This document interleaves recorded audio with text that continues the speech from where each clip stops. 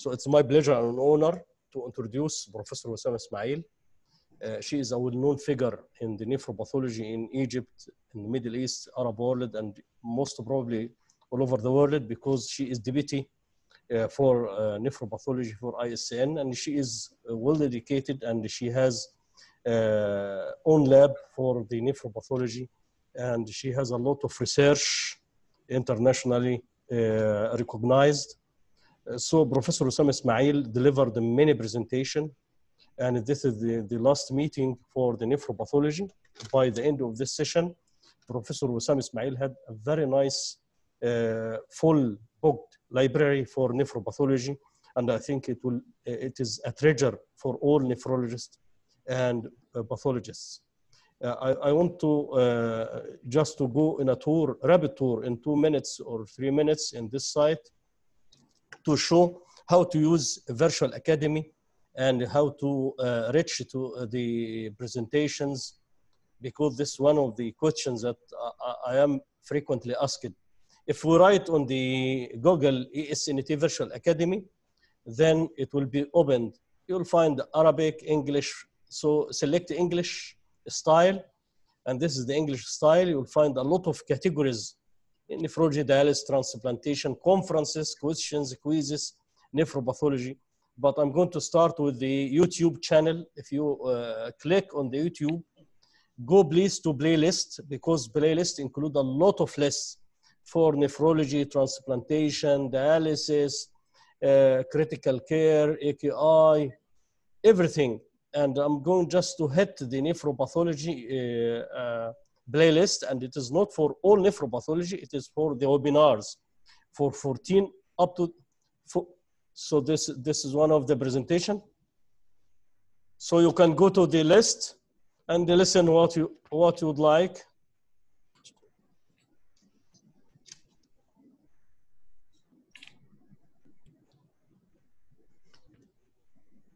And then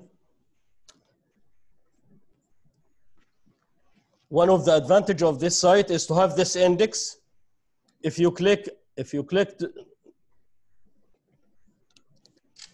if you click and just write Wesam Ismail here in the lecture index, you will find the presentation of Professor Wesam, 34 lectures on the Virtual Academy.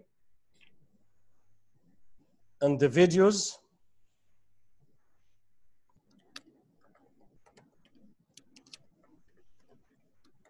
you'll find more than 14 videos, 18 videos are already there.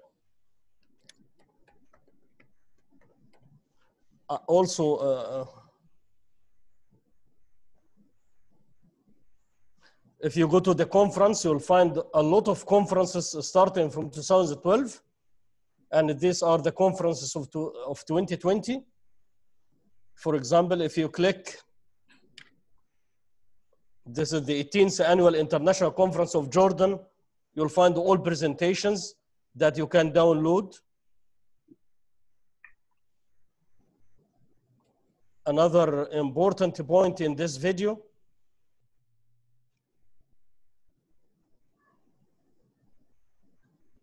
If you go to the pathology you, and you open the ESNT webinars, please here, uh, I like to, just to uh, raise uh, the attention. If any of the attendee wants to have an official certificate from Egyptian Society of Nephrology and Transplantation that he attended and participated in the webinars of Professor Wesam, beside attending, and uh, the, anyone should review the videos and then go directly to this quiz assessment. And any, uh, any attendee uh, who have 70% score or above, he had the right to uh, for a certificate signed by uh, Professor Wesam, by Professor Hana Hafiz, and uh, by myself, because this is the, the, the right of attendees to have official documentation for. And this is uh, MD nephrology, and all the list of the webinars are there. I'm not going to bother you by the details. And uh, so this is the 15th uh, session of nephropathology live webinars because we have a lot of presentation on the virtual academy of the videos and the presentations that were presented in conferences. Today, it is a very special session, as Professor Hussam promised. Uh, she will discuss viral related injury of the graft, and then she has uh, interesting cases at, after the lecture. And I'm sure that it will be very, very rich end of the live webinars of nephropathology. This is the end of the, of, uh, in this time, but we are going to update uh, after a couple of months. There will be updates with Professor Wesam again and again because we cannot work in nephrology without the help of pathologists and the one of the uh, very uh, qualified and mastering the nephropathology, Professor Wesam Ismail. The mic is with you, Professor Wesam. And before you are going to talk, I, um, I invite Professor Halawa to uh, welcome Professor Wesam and welcome all attendees. Professor Halawa. Thank you very much, Professor Hussein. Um, we are very grateful to Professor Wesam Ismail for the nice presentation. And I, you know, we learn a lot. We definitely we learn a lot. Slides up to date. Uh, enjoyed the discussion. Enjoyed the company with colleagues, eminent friends. And actually, uh, you know, I got a lot of feedback from uh, my colleagues from University of Liverpool, and they asked me for the link, which you're going to send me, you know, hopefully tomorrow, the four four links to send them to all of them. Okay. Uh, we have on our, you know, on our list is more than 230 uh, students, and you know, but because it's a global uh, course, so the you, you, can't come because you know it's seven o'clock or, eight o'clock uh, Cairo time. It's two o'clock in Singapore, which is quite difficult. But um, she become very popular worldwide now. Okay, and I think the presence of the recorded videos is a real treasure. Thank Absolutely. you very much, Professor Wesam, and please uh, share your slides. Well, uh, thank you very much, uh, Professor Hussein and Professor Ahmed, for the uh, great words, and thank you very much for the feedback. It's really a great pleasure, and um, I have to say I'm sorry that this is the last session because uh, really this was uh, the bright uh, point of the COVID-19 epidemic we're living in, and it is the last session this month. You're trapped, Wesam. no escape. no escape, yeah. No escape, yes. Well, uh, go ahead, please. I have to thank uh, Hussein for all his effort, for uh, for the idea, for all uh, the effort uh, backdoor with the links, with the recording, with the uh, with the contact with uh, everybody actually, and managing to to have us all here with this great host of my colleagues, and professors, and all our junior colleagues. And um, apart from everything and apart from the science, it's really a great pleasure to be um, with all of you. So today is going to be uh, our last session in uh, transplant pathology. Uh, of course, I did not cover every uh, single thing. I, we covered the major and important uh, things, at least from the point of view of uh, pathology. And today I'm going to discuss viral nephropathies, mainly polyomavirus nephropathy, and with a slight highlight on others. Um, is the voice okay? It's okay. Yes. Great. Okay, now you all know that in relation to transplant infectious disease, that prevention, diagnosis, and management are actually major contributors to clinical organ transplantation. And because of their importance, actually uh, the American uh, Society of Transplant Infectious Disease had, has its own guidelines in relation of the management of um, infection disease. I wanted to include them, but actually didn't have time, so I'm going to I did not include them in a slide, but I'm going to mention uh, to mention them uh, as we go through. We know that the risk of infection for a transplant recipient at any point in time after transplantation is actually a function of two factors. The epidemiologic exposure of the patient and the organ donor, including recent nosocomial and remote exposures, as well as the patient's net state of immunosuppression, including all factors which are going to contribute to the risk of infection. So it's never a single factor. Epidemiological exposure, as you can see, for transplant recipients, could include a very long list. and of course um, of uncommon infections which we don't see in uh, the normal uh, population. Viruses, bacteria, fungus, uh, parasites, nosocomial exposures, and community exposures like food and waterborne infections, respiratory viruses, and so on, as well as viruses which are mainly targeting the graft as polyoma virus and atypical respiratory pathogens. The net state of immunosuppression basically depends on the immunosuppressive therapy, the type, sequence, and intensity, intense anti-rejection treatment versus the maintenance uh, therapy the patients are on. Prior therapies also needs to be included when you're evaluating the net state of the immunosuppression of the patient. The patient was malignant patient, they receive any chemotherapy, antimicrobials, or uh, any treatment for post-transplant malignancy. You need to consider that integrity of the mucocutaneous barrier, catheters, lines, drains, were they compromised? Uh, the presence of neutropenia, lymphopenia, hypogammaglobulinemia, often drug-induced, but maybe this is the inherent disease of the patient. Technical complications, graft injury, patients had any fluid collections, any wounds, underlying immune defects, diabetes, autoimmune diseases, genetic polymorphisms, metabolic conditions, and so on. I'm sure that you're aware of all of these uh, factors uh, more than me, but since we're discussing uh, infection, we have always to bear it in mind because sometimes we get surprised why the patients present with these infections. And the association of immunosuppression and infectious syndromes, mainly of the stronger the immunosuppression is, the more chance, as you all know, that you're going to have uh, more infection. Some immunosuppressors are more related to specific infections, like co-stimulatory blockades, for example. They have a possible increased risk for Epstein-Barr and PTLD. Uh, plasmapheresis induces encapsulated bacteria. Um, uh, ATGs cause activation of latent viruses, as well as encapsulated bacteria. CNIs, for example, are a major risk factor for herpes and for polyoma, and so on if we come to consider the, um, a, the overall course of patients in a transplant, it's usually divided in, uh, into periods. Uh, the first month or before the first month is over, then during the first year, then after the first year. So with standard immunosuppressive regimens, most common infections occur in a relatively predictable pattern. And this pattern depends on the time elapsed since transplantation. So you can more or less predict which uh, what you're dealing with. So the pattern of infection usually changes with alterations in the immunosuppressive regimen, and this is actually a reflection of also changing risk factors over time. So within the first month, you have different risk factors in the first year, and then after the first year.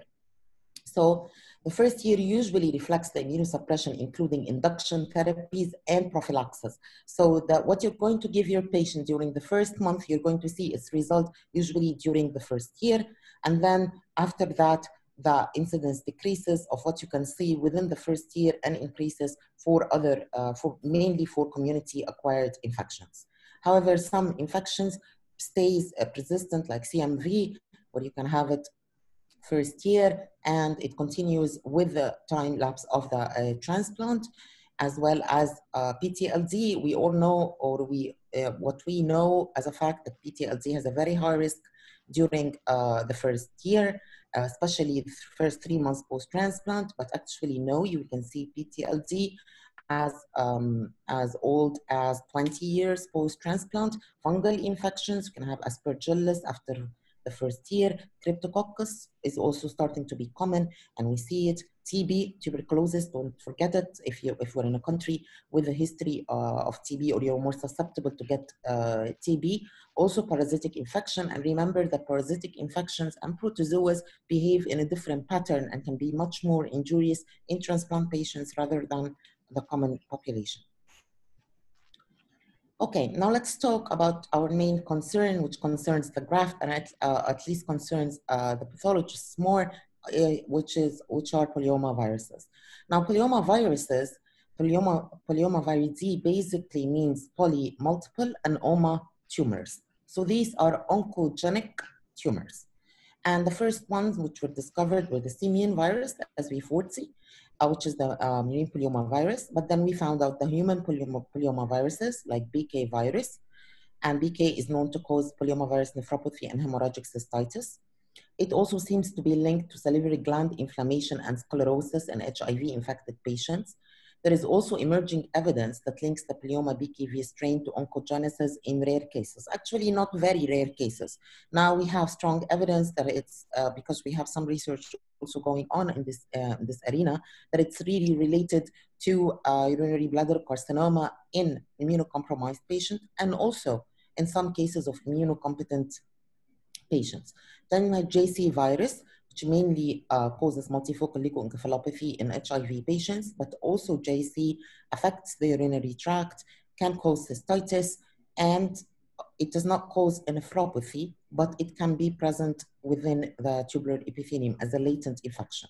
Of Merkel cell carcinoma virus. Merkel cell carcinoma is a recent type of uh, polyoma virus, and Merkel cell is a rare uh, disease, uh, malignancy of the skin, and it also has been related to polyoma viruses. Then we have other types of um, viruses. Now the family of uh, polyoma contains around 12 viruses when we started only with three viruses.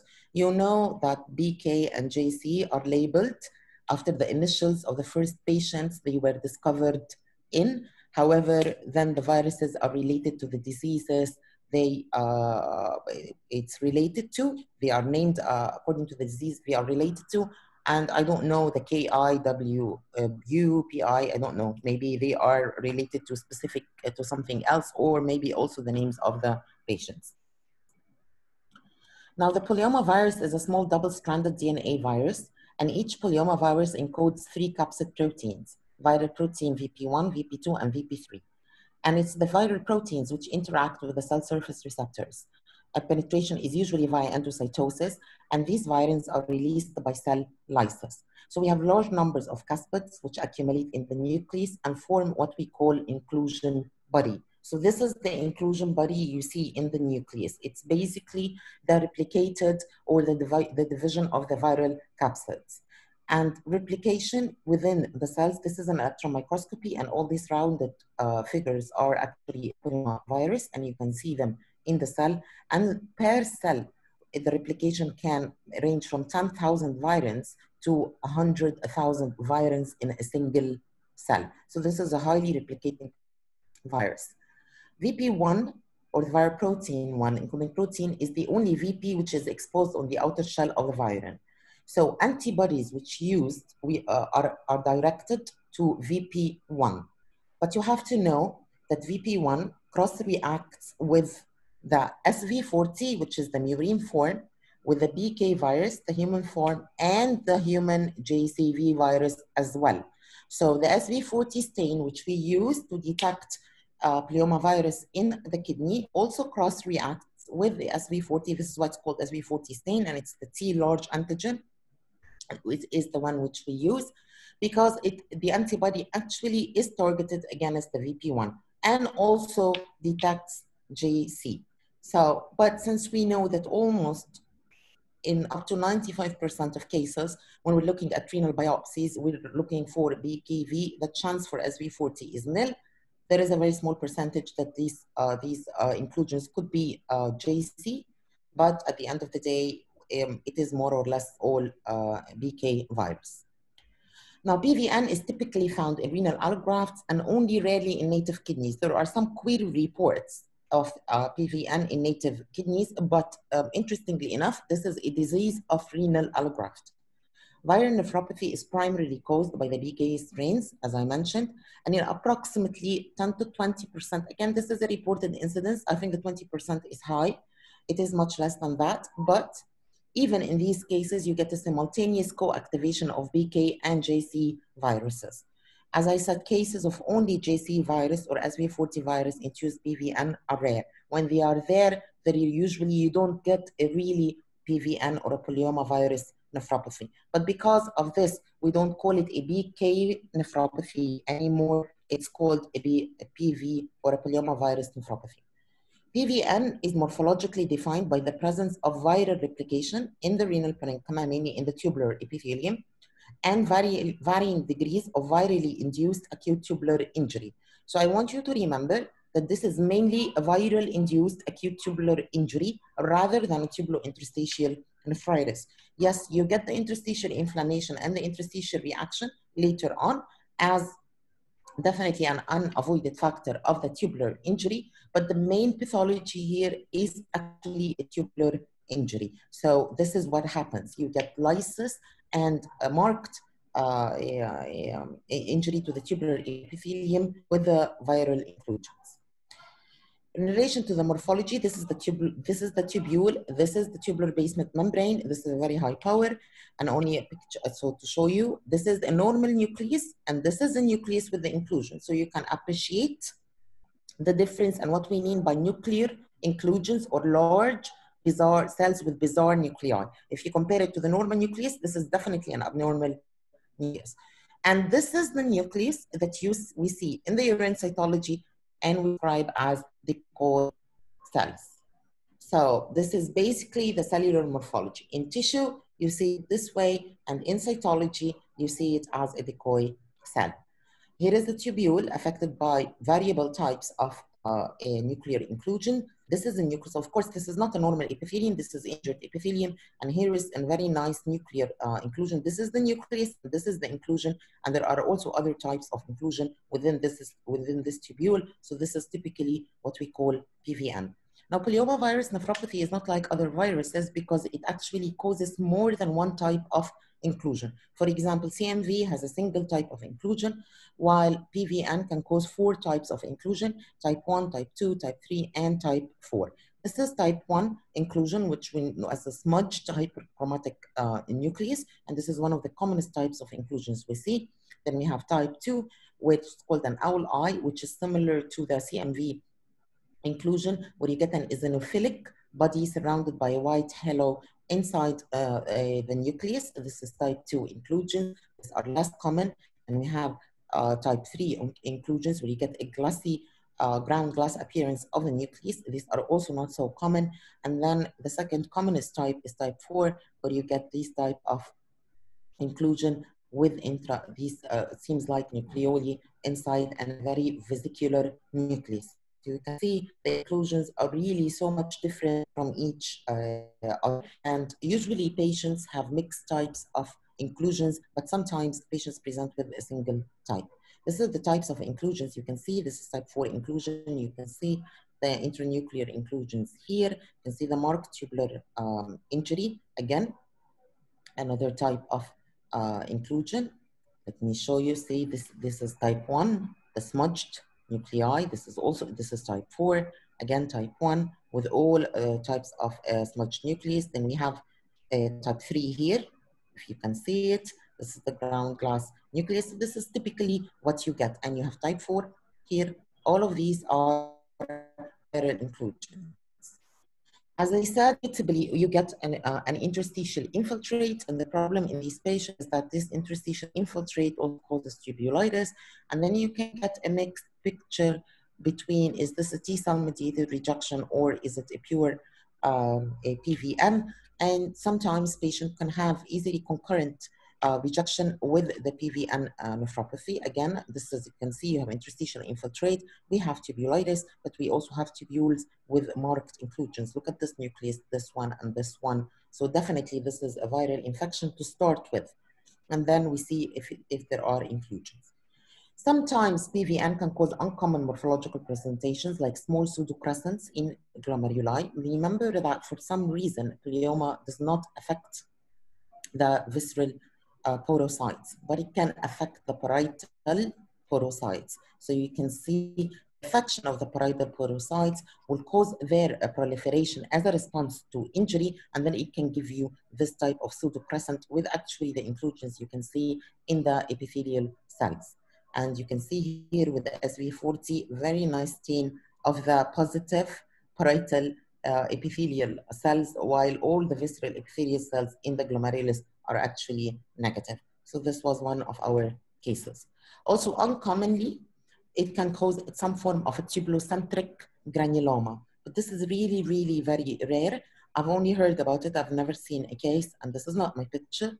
Uh, but it's reported in some um, in some cases that it can give some form of the granuloma. The reaction, the interstitial reaction surrounding the tubules can actually give some form of granulomas involving the tubules itself, so it can give a false granular appearance of a granulomatous interstitial nephritis.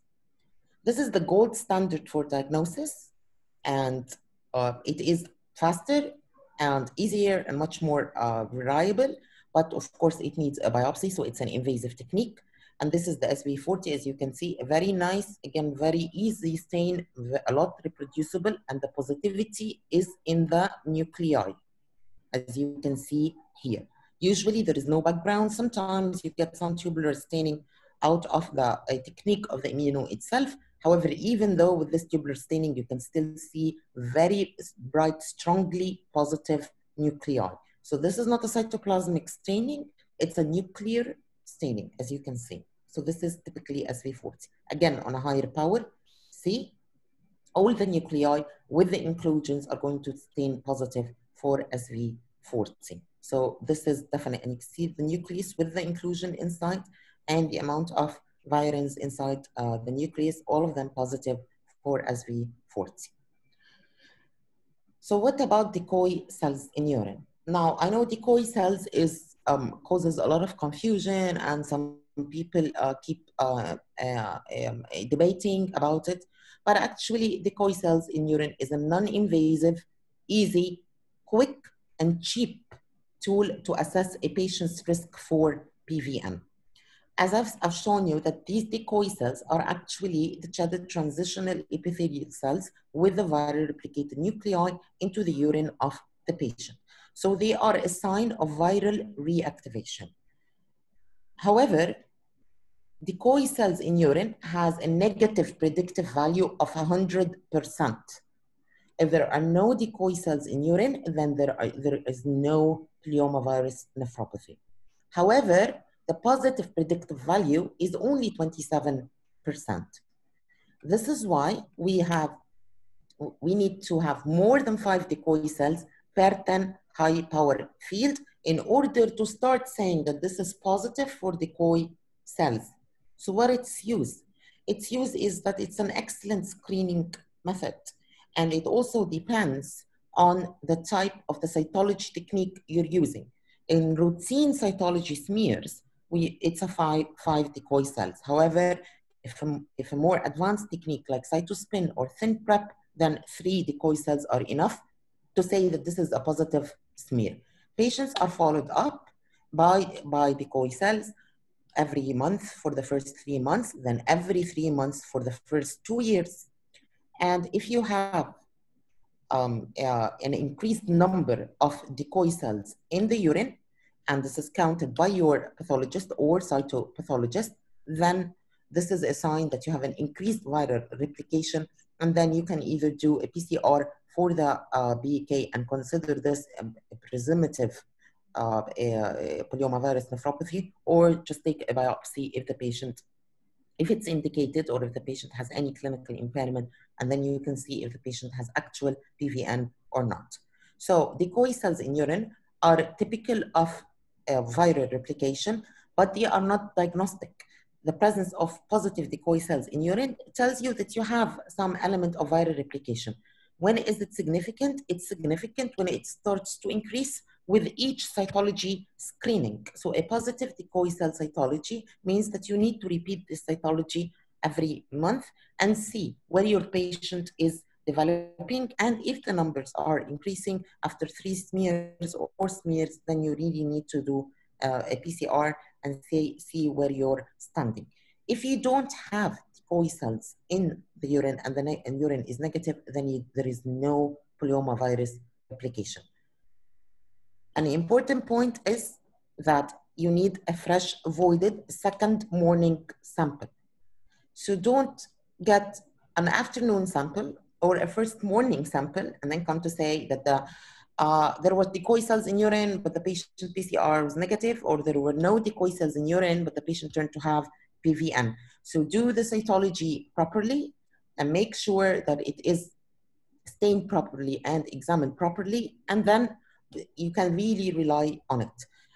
It's not difficult for pathologists to detect decoy cells in urine. They look like malignant cells. So you can teach your pathologist to, uh, to detect them in, uh, in regular cytology smears. They are not difficult at all.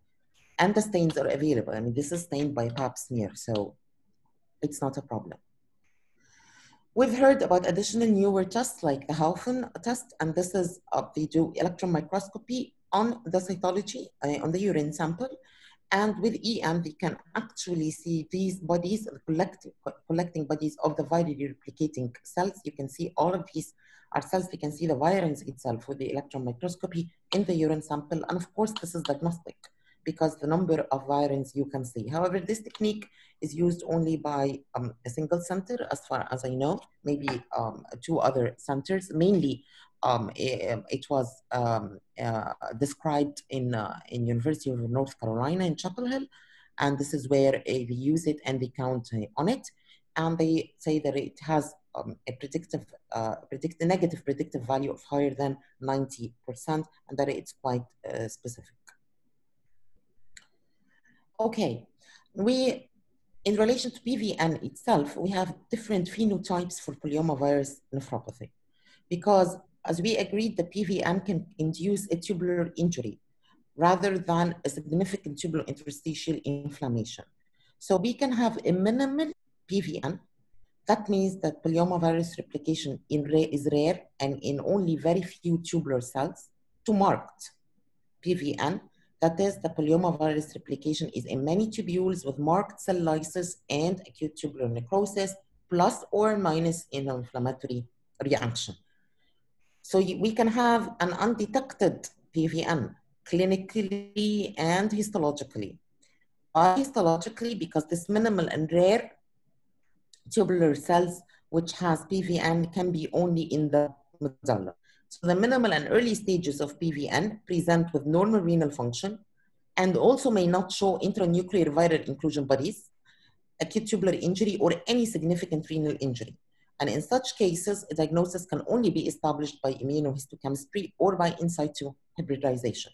And because of this, now it is highly recommended that SV40 for polyoma should be routinely on all renal graft biopsies as we perform C4D.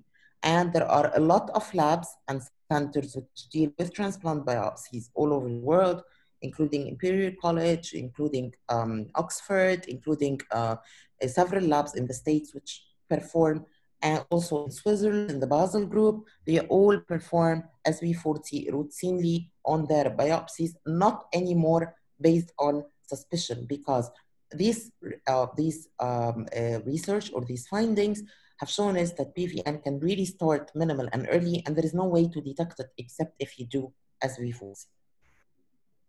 So based on this morphology or in these different phenotypes of polyomavirus nephropathy, PVN can be classified into diseases, grades one to three, with disease resolution and favorable outcome in early disease, which is grade one, and a high risk of, uh, of graft beer in grade three. So if we classify the PVN properly, then we can detect early cases. And now we know that not it always that the prognosis is not so gloomy. And that if we can detect when it's minimal and in an early stage, then you can do something about it. Then comes the question, does a mere diagnosis of polyomavirus nephropathy provide optimal diagnostic prognostic information? Is enough to just tell you that the patient has PVN? And can these different phenotypes, if we tell you that the patient has minimal early PVN or a moderate stage, he has fibrosis, he have inflammation, can predict differences in the clinical presentation and outcome? And based on these two questions, the Banff had been working since 2009 on a classification for, yes, it took that long on the classification of definitive polyoma virus nephropathy to come up with morphologic definitions and clinical correlations based on clinical pathological correlation. And the classification was published in 2018, actually late 2018. This is the classification. And I have to say, it's not a very user friendly classification. and it's not very easy to understand. And the variability between the class is, classes is actually very big. But I'm going to say the classification And of course, as every other classification, everyone is free to opt to use it or uh, not use it. However, it is in the Banff classification, and actually in Banff 2019, polyomavirus nephropathy was included as a separate category for the first time within the categories of the Banff classification. Before it was included as an other category, which includes all forms of viral infection. But now, in, in 2019, category five equals polyomavirus nephropathy. So we will eventually, if we're banfing the patient, then we'll eventually have to use this classification. If you want. So the PVN defines basically three morphologic PVN classes, class one, class two, and class three. And it uses two main criteria for the evaluation of the classes. These criteria are basically the interstitial fibrosis using the Banff regular score for interstitial fibrosis and what is known as intrarenal PV load levels. So viral load, tissue intrarenal viral load uh, level. And this was statistically verified class denominators, both. So by statistics, these they were the significant class denominators. Um, I'll try to simplify the classification as much as I can. Class one is basically by the viral load. So if you have a viral load one and any form of and, and mild interstitial fibrosis, you're class one. If you have a viral load one and moderate to marked interstitial fibrosis, then you're class two. If you have a viral load two and any interstitial fibrosis, then you're class two as well. And if you have a viral load three with mild fibrosis, then you're class two. If you have a viral load of three and marked fibrosis, then you're class three. So, so class one basically defines early PVN stage, and class three defines very late stage of polyomavirus nephropathy, and anything which is in between is class two. Now let's see the classes. This is class one. And as you can see, this is a very nice kidney, very nice tubular epithelium. There's absolutely nothing. No inflammation, no edema, no tubulitis, no tubular injury, nothing. And see with the SV40, you have one, two, three, and four positive uh, nuclei for SV40. So what is the viral load? The viral requires SV40 staining. This is how you measure the viral load. So if we have nuclear staining less than 1%, this is PVL or equals to, this is PVL1. That means if I have a single nucleus in a single tubule or more than one nucleus. If I have a single tubular staining, this is equals to or less than one, this is a 1%, not a 10%. So this is 1%, a single tubule in cortex or in medulla with positive nuclear staining, then you are in PVL1. So this is class one. No diagnostic inclusion, no or minor inflammation, and absolutely no fibrosis. So this is class one uh, PVL. This one had minimal inflammation going on. What about class two? Class two means that you have a viral load of more than 1% to less than 10%. And this is again the SV40 in the tubule. So if you have up to 10% affection of the tubules, positive nuclei in the, tubule, in the tubules, in the biopsy, up to 10% of the tubules present in the biopsy, then this is PVL2, then you are class 2. Irrelevant of the degree of fibrosis you have and irrelevant of the inflammation. But usually these, um, these cases are associated with significant inflammation. So you have more 1% up to 10%. Then class three, you have a viral load of more than three, sorry, this is, uh, and marked fibrosis. As you can see, this is the trichrome, and you have a viral load of more than 10%. So this is basically the classes. They are a bit um, complicated to understand.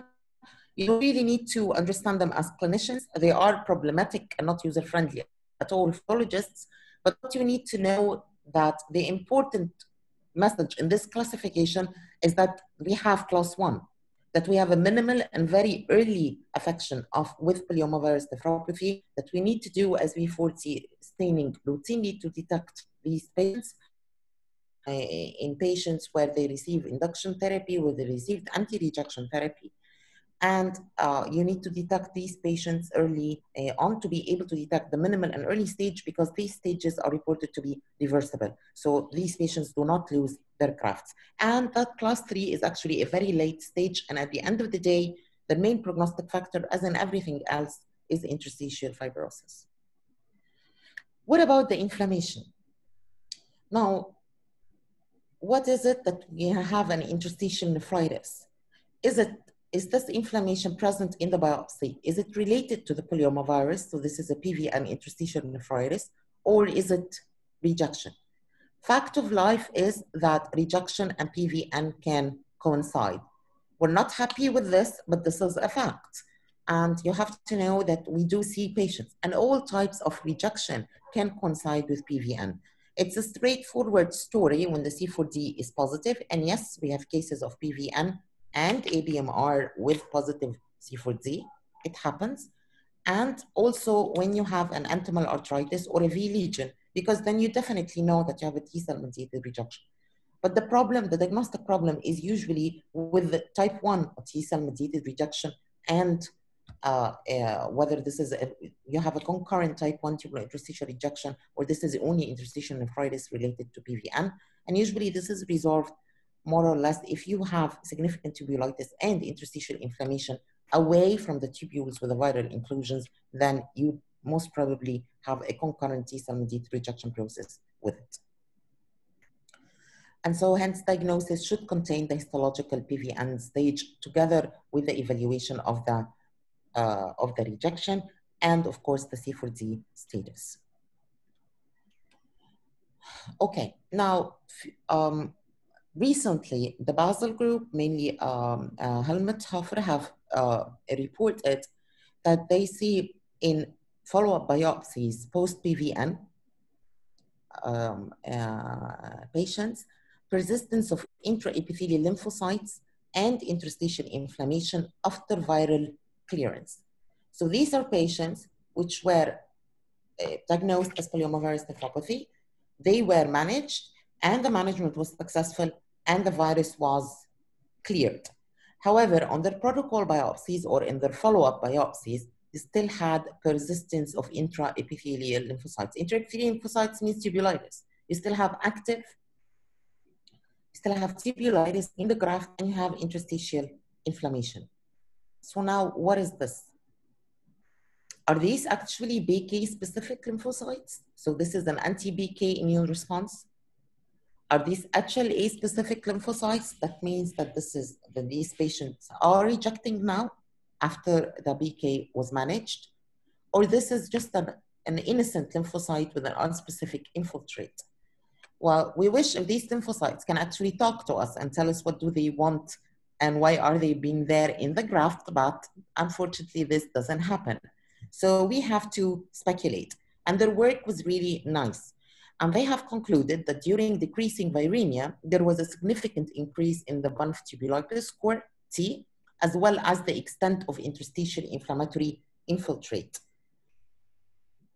They have withheld anti-rejection therapy and they did not treat these patients and the outcome was good. So the immune reconstitution theory came up that patients with polyomavirus nephropathy can have some form of immune reconstitution associated acute interstitial nephritis. It's a form of rebalancing of the immune system in the graft following the viral infection. So this resolving PVN, actually, we know very little, we still know very little information about it. And we know very little information about the histological changes occurring during persistent and resolving PVN simply because we don't biopsy our patients. However, these two nice studies by um, um, Mantra Mani in 2013 and 2014, they have published the first histology-based study on resolving PVN in a cohort of patients initially diagnosed in early and florid disease stages, and also this study, they have shown an abundance of BK virus specific T cells to be associated with control of polyomavirus replication, or when they were managing the PVN and going down with the immunosuppression, with the prevention of PVN. So does reconstitution immune injury with pronounced graft inflammation really exist? Or if this is, this is a re reaction? And if so, is this a typical feature of any resolving polyomavirus nephropathy? We still have to answer this question. And is the marked chronic allograft injury with interstitial fibrosis and tubular uh, atrophy indeed a typical endpoint in all stages of polyomavirus nephropathy? This is what we are expecting. We say patient has polyomavirus nephropathy, patients are going to lose the graft, and eventually the PVN is going to cause this chronic allograft injury. However, again, mentioned in their study during follow-up, significant graft fibrosis and tubular atrophy was not seen at the time of disease resolution. And the UNC group, which is one of the first groups who discovered, who described polyomavirus nephropathy when we ever heard about it, and they are the same group who came up with the Haufen test, they have made similar observations. PVN often does not cause relevant scarring. So the message is that in resolving polyomavirus nephropathy, and that if you managed actually to uh, go down, cause viral clearance, you're not, don't worry, because you're not going to have scarring in the kidney. And that this interstitial nephritis or this reconstitution immune injury, which we don't really know a lot about yet, is not probably a direct cause of this chronic allograft injury. This is what we know so far. So all the recent evidence was that as early as you can manage PVN, you can have actually a good result and a good outcome to your patient. It's not such a gloomy diagnosis. Okay, now let's have a case. Now, this is not my case. It's uh, a case of a friend, but it's a very nice case. So I thought you, um, I'll uh, show it to you. This was a 43-year-old female who presented with increased serum creatinine levels and fever five months post-transplantation. Maintenance therapy, tacrolimus, MMF, and steroids. So this patient presented five months post-transplant with a fever and high serum creatinine. Patient is known to have diabetes, hypertension, and she's hypothyroid. Her uh, uh, end-stage renal diseases of unknown cause. Virology is negative, mainly hepatitis C and B. Past medical history, this patient had history for tuberculosis and had an operation for an ovarian cyst. So upon presentation, patient was feverish, but alert and well-oriented, and her blood pressure was 160 over 90. Her creatinine have climbed to 1.6 from a baseline of 1. Urea was 90. CBC was 4.9. Neutrophils were uh, 61%. Hemoglobin was 9. Platelets were within normal range. Urine analysis and culture. Red blood cells 2.5 uh, to, uh, per high power field. Few white blood cells 10 to 15. And urine culture positive for E. coli. So in brief, this is a 43-year-old female diabetic hypertensive, presented five months post-transplant with serum creatinine 1.6, fever, lymphopenia, and positive urine culture for E. coli, and she has a past history of tuberculosis. So, would you like to have any other investigations?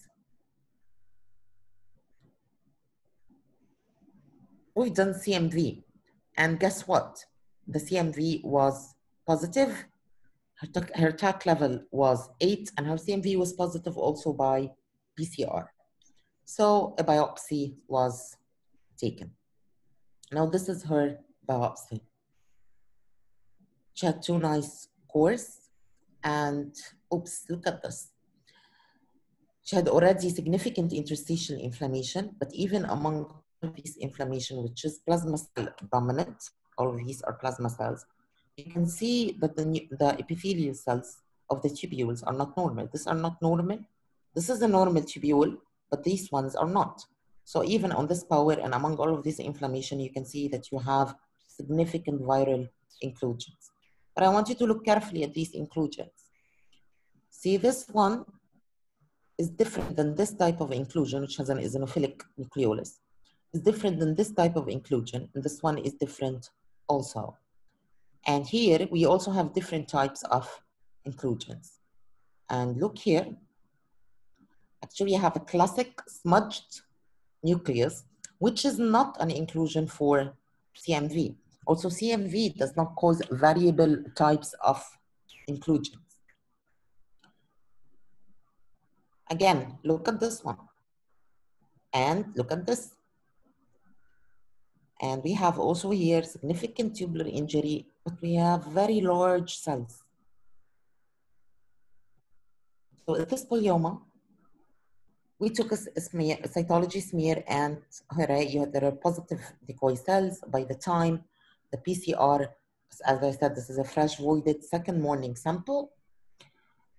But then back to the biopsy and look at these inclusions. We have this eosinophilic intranuclear inclusion and oops, there is also an inclusion here. And this inclusion is actually not in the parietal, it's in the visceral epithelial cell. And you have another one here.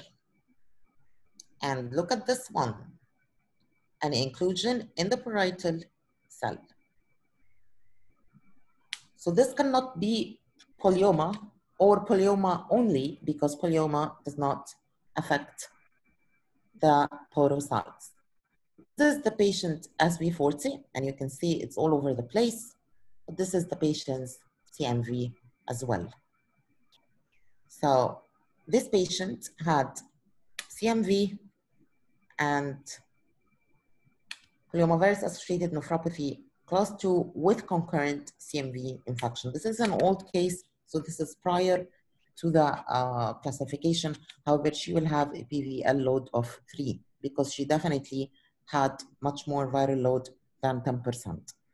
Blood PCR, CMV was positive, BK was positive, antiviral treatment, antibiotics, and overall immunosuppression was decreased. But of course, patient eventually lost the kidney and returned to dialysis.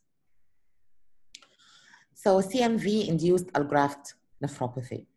Now, this is CMV, cytomegalovirus.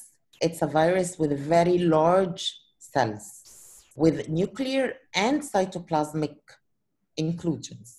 So it can cause a cytoplasmic inclusion, but it can also cause nuclear inclusions. And we also detected the immunohistochemistry. This is our antibody, and you can see it gives a very nice positivity for CMV.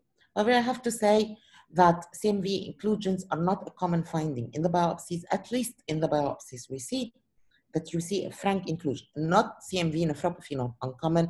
The actual frank viral inclusions are not that common. Usually CMV patients present with edema and a lot of plasma cell infiltrate, and this is usually goes with CMV infection, even if you don't see the viral inclusions. So don't count on suspecting CMV nephropathy only on the presence that you cannot see the classic CMV inclusions because they are not that common. The other type of infection, which is quite rare, is adenovirus infection. Now, these um, uh, pictures are from Volker. They, they have the immunohistochemistry antibody for adenovirus, as you can see. This is also from UNC uh, lab. And uh, look here, this is positive for adenovirus. Adenovirus causes a markedly hemorrhagic kidney, can, can cause a lot of interstitial hemorrhage, but also can cause inclusions, these types of inclusions, which can also overlap with polyomavirus and a lot of edema and plasma cells, as you can see. But usually the hallmark or what can make you suspect adeno infection is uh, the hemorrhage. However, it's extremely rare and only few cases are reported. Okay, we're Egyptians, so I cannot really discuss any form of viral infections without discussing HCV. So, you know that uh, this is the most frequent glomerular lesion which is associated with chronic HCV infection in uh, renal allografts is recurrent or de novo MPGN with or without mixed cryoglobulinemia. We also see de novo membranous glomerulopathy. Um, I always like to stress that this is pre the phospholipase uh, 2 era, but also HCV infection can cause PTLD, and we've seen few cases of very chronic HCV infection. Patients presented with PTLD 15 years and 12 years post-transplant. What about in the new DAA era? Okay, we still don't know whether these, these patients are going to develop also PTLD uh, or not, since now most of our patients uh, receive their treatments. EBV, Epstein-Barr virus, of course, we know that the main problem is that it causes PTLD. This is a patient who was post-transplant lymphoproliferative disorder, and this patient was actually three years post-transplant, and he was EBV positive, as you can see. However, we know now that not all patients are EBV positive, and not all patients present in the early post-transplant period, and that we have PTLD 20 years post-transplant, EBV negative, and it's been reported. The early PTLD is four stages, and only the fourth stage is a frank lymphoma, where pathologists can detect it easily. However, the first three stages, actually the first two stages is a polyclonal infiltrate, so you cannot even detect it by immunohistochemistry. And the second stage, where you get monoclonal infiltrate, again, it's an innocent infiltrate. Diagnosis of PTLD is not easy. On, on, on the biopsy, requires a very high suspicion and requires very high clinical correlation between the EBV status, between what you're seeing in the biopsy, and between the clinical, uh, in general, the clinical status of the patient. So can we be missing cases? It's a possibility. Can we be overdiagnosing cases? It's also a possibility. This is not a straightforward entity in the first three stages. The frank ones are frank enough, but the first three stages of uh, a PTLD, it's a basically an lymphoproliferative disease. It's not that easy to detect. PTLD, as I said, occurs in up to 20% of pediatric organ recipients, but less than 1% in adults. So they're more common in pediatrics. Most PTLD reflects Epstein-Barr infection of B lymphocytes, but T cell, NK cell, null cell, and EBV negative forms also occur. The main risk factors are primary EBV infection, CMV donor recipient, uh, serostatus mismatch, T cell depletion, younger age in children, older age in adults, and intensity of immunosuppression.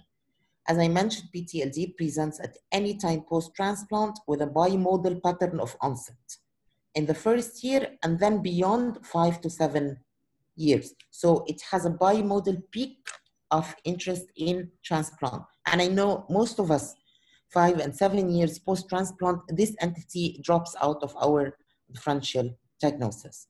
And since we're discussing PTLD, this will take us to post-transplant malignancy.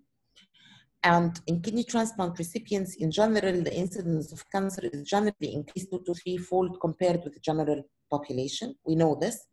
And you know that the increased cancer risk is not spread evenly over all types of malignancies. Some malignancies are not increased like breast, prostate, ovarian, brain, and cervical, but others are increased substantially like lung, colon, liver, lymphomas, melanomas, and non-melanomas, and skin cancer.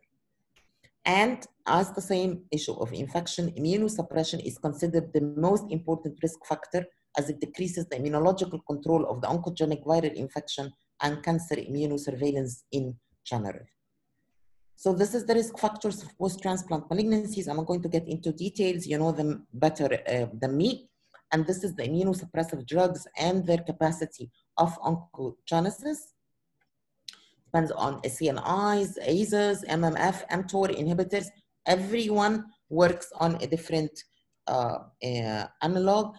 Uh, at the end of the day, it's the contributive effect of the different immunosuppressive agents that, uh, that it's not well established at this time. So we don't know the cumulative effect of each one.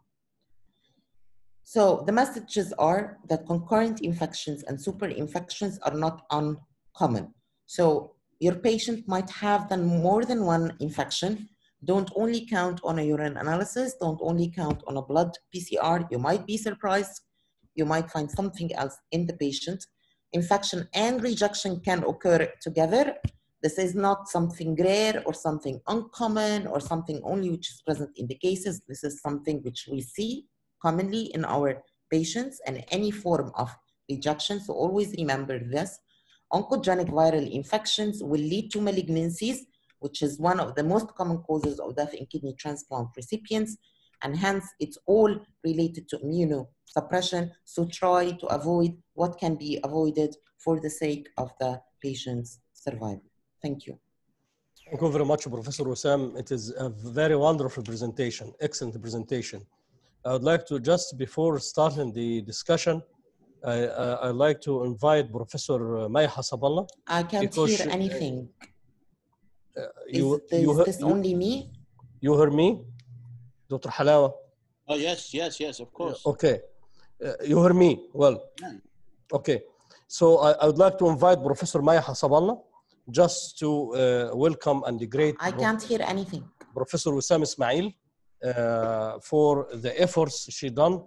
Uh, 15 webinars through three months. It is a great job done by Professor Wesam. So Professor May.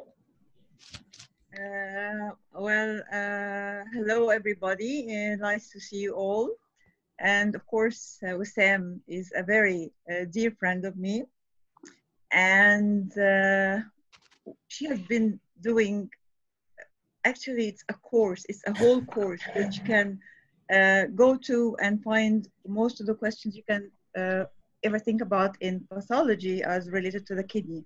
So, uh, uh, thank you very much, Sam for your persistence and for your very informative uh, lectures. And uh, I, I'm sure this is going to be very useful for everybody, for the young ones, for the uh, senior professors, for everybody, because pathology is very important and, and a lot of us really are not uh, as good at it. So what you have done is a really great help to nephrologists. And you are a nephrologist actually, Wesam, so I consider you so.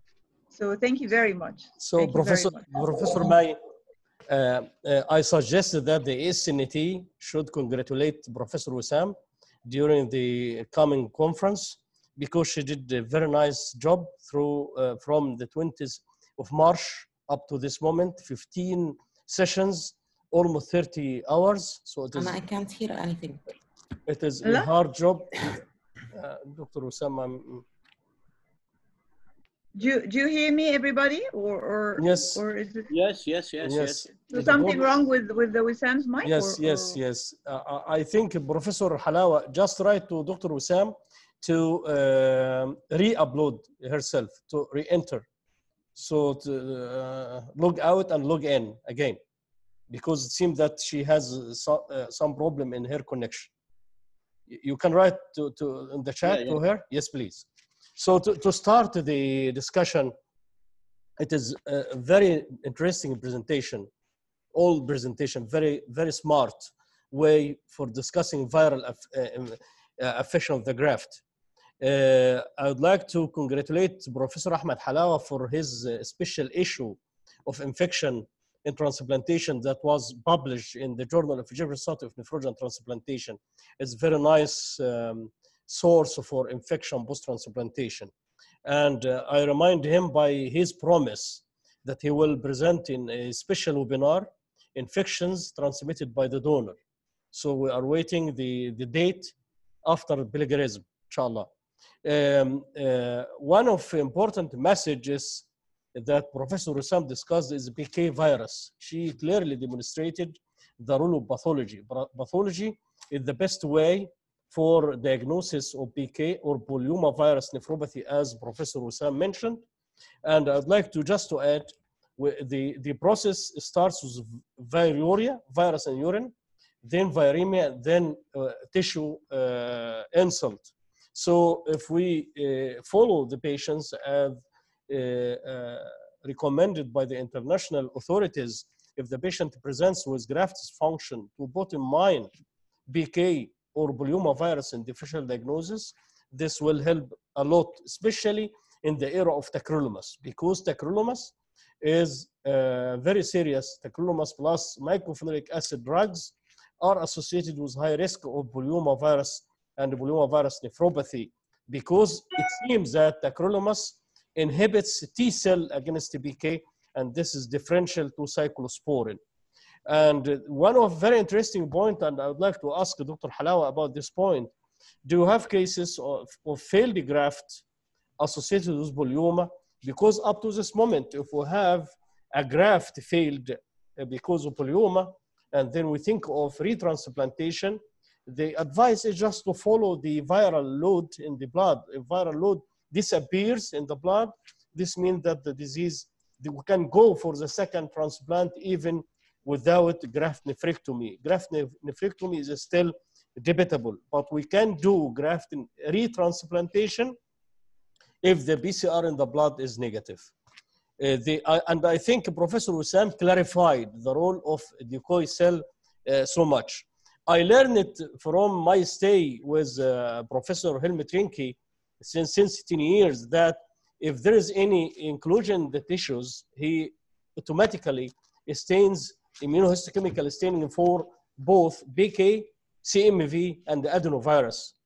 And at the end of the day, he has electron microscope as well, uh, because electron microscope can clarify the inclusion present and uh, can specify the diagnosis. Uh, and I think viral infection are so enormous because we can read case reports uh, about the herpes simplex associated. The last point I want to, to say in this long commentary is some immune suppressive drugs have privilege like mTOR inhibitors.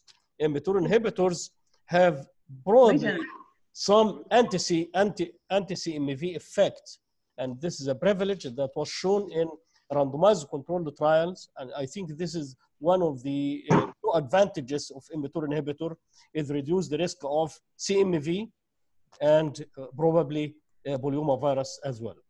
These are my comments, and then I'm leaving the floor for the discussion, and we are going to start with Professor Halaw. Uh, will you keep me uh, at the end? Okay. Because I have many comments here. Okay. So we can start with uh, my colleagues to, to yes, make Dr. Alina. Please unmute yourself. Dr. Alina. دكتور محمد أيوه ده. أنا دي, دي هيفرح حسين دي بنتي. يا أوكي دكتور محمد اتفضل. Uh, thank you so much, Professor uh, Wissam, for this elegant uh, presentation. Uh, actually, the, uh, I have three issues يعني هنقولهم لك واحد ورا الثاني كده وعشان تروح حسين ما ايه ما- كيب ان انجلش مع دكتور محمد كيب ان انجلش انت ضحكت عليا بلينا بس خليك انجليزي First issue uh, طبعا uh, the line of demarcation between uh, BVN only and BVN with uh, concomitant acute rejection is very vital for the clinician because the treatment is completely different. One, we will minimize immunosuppression. uh, the other, we will uh, intensify or cautiously will add some anti-rejection treatment. So you, do you think uh, the presence of tubulitis uh, in an area nearby uh, the tubular cytopathic viral included cells is different from tubulitis far away from the tubule with the viral inclusion? And does it make any difference for a patient who has tubulitis in an area far away from the SV40 positive uh, cross-sectional area? That's the first uh, issue. The second issue, sometimes clinical pathologically, we, we might face a situation that the patient has rising creatinine. Uh, PCR for BK is negative, uh, but un, uh, unexpectedly we find SV40 is positive. So creatinine is high, PCR is uh, negative, and then the comment of the biopsy come in certain centers doing SV40 routine, it is positive. Uh, so we are not sure is it really uh, true infection and the sensitivity of the PCR is not good, or it is something different. In the same line, sometimes uh, the patient might have PCR positive, creatinine is rising, and the biopsy is normal. Yani there is no any uh, histopathological finding for uh, SV40 or uh, viral inclusion in the histology. The last one uh, that I would like to know, the, the, the Banff classification for uh, the of nephropathy. Do you think it is only eliminated the inter-observer variability without an impact on the clinical outcome, or it translates also to clinical outcome? Okay. Uh, Muhammad. This is very important questions. Thank you, Dr. Mohammed. Okay, I'll answer the, the last one first. Uh, yes, it did both actually. It eliminated the inter-observer reproducibility because it basically counted on two fac- on two factors, on two denominators, which are easy to uh, more or less easy to uh, um, evaluate. The SV40 positive nuclei translated into the PVL or the viral load, and the presence of interstitial fibrosis. It did not include anything else, nor inflammation, nor um, uh, any other uh, criteria. So make it simple and uh, clear. So intervariable reproducibility within this classification is very good. Inter-observer reproducibility, sorry. But the main factor for this classification, and why it stayed almost more than 10 years, or almost 10 years still it showed up was the clinical outcome.